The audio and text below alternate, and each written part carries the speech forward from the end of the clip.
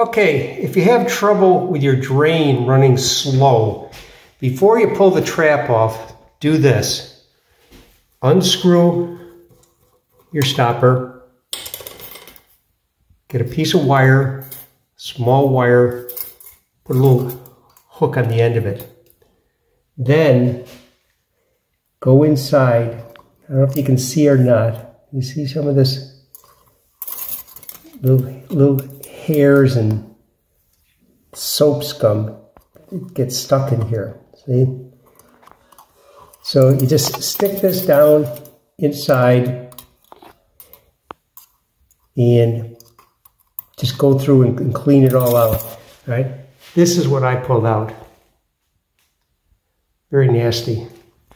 So anyhow, don't don't take the trap apart. Uh, do that at the you know that that's your that's your last resort to take the trap apart. Nine times out of ten, this is where your problem is going to be. As I said, you can see that there's still there's still some stuff in here that I have to clean out. But uh, prior to this, it wasn't even it wasn't draining at all.